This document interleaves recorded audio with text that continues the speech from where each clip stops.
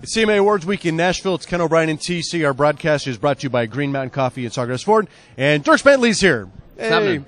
So, uh, uh, Halloween at your house, uh, no princesses. What was the theme, pray tell, at the Bentley house? It was uh, this year. The, the girls decided it was a Willy Wonka Christmas uh, Uh-huh. Halloween. So the girls were Oompa Loompas, and I was Willy Wonka. And my wife was unfortunately drew the, the short straw. She had to be Violet, the big blueberry. Big Blueberry. And she's just been pregnant for like nine months. So the last thing I'm sure she wanted to do was like get in a humongous blueberry uh, costume. But she did, all for the kids. You guys are troopers. Yeah, we did. It's, it It's was pretty fun. funny. Yeah, it's How- great. What, what was your reaction when your daughter said she wanted to be an Oompa Loompa?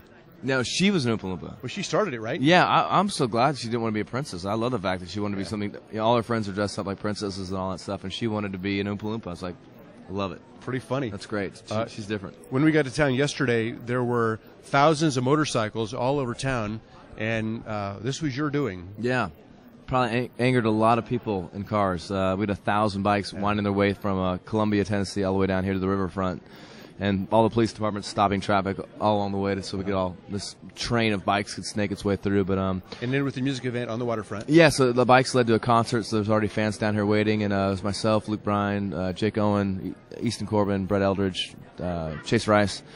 All got up and just did you know acoustic or electric sets, and we raised over three hundred thousand dollars for the Vanderbilt Children's Hospital. So we're really close to the three million dollar mark. Eight eight years into this thing, and um, all this money goes to families and kids in need here at the uh, the Vanderbilt Children's Hospital, which is a great children's hospital. Yeah, it's it's a it's a cause really near to our heart as well, and um, and that's really nice you to do that. Well, country radio has always been involved with children's hospitals. Of course, we have the St. Jude Marathon that everyone does every year. But this is uh, for me living in this town for 20 years now, having this particular hospital, which you know we deliver babies at, and I've been there to, to present these checks and see what, what goes on in this hospital. It's an amazing place. You got kids. Have you been a heavy user of the hospital? We've hit the ER several times. yeah. Return customer? yeah, they know us at the ER well, but uh, it's crazy. It's it's yeah. I thought single life was crazy. Then I have kids. And it's like this is crazy.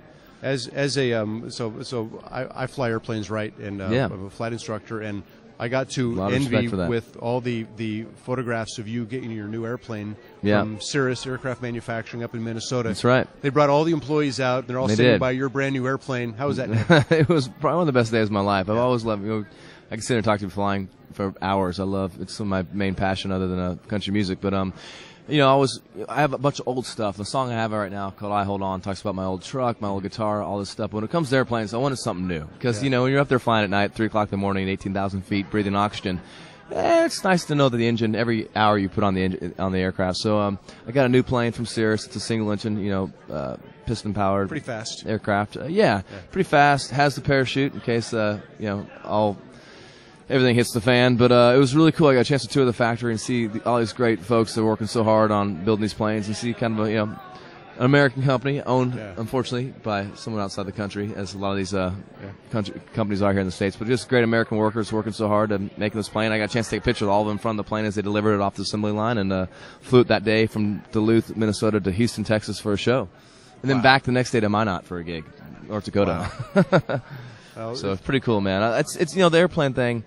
It's I was telling you I can't afford to sit in a you know, take a jet. I just don't. I'm a work kind of a blue collar country singer, but um I fly so much, and there's a lot of towns we play don't have major airports, and I have a family now, so. This plane, um, which actually gets better gas mileage than my truck, it gets about 11 miles to the gallon.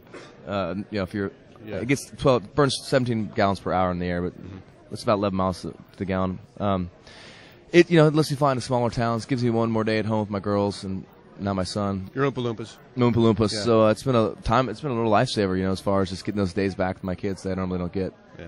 And it's f- just fun as fun as hell, as you know. I'm envious of the airplane. I'm envious you uh, being a, a CFI uh, man. That's cool. Congratulations on uh, I Hold On. Great news. Thank song. you. And uh, as always, great to see you. Thanks a lot. I appreciate it. Dierks Bentley. Thanks again.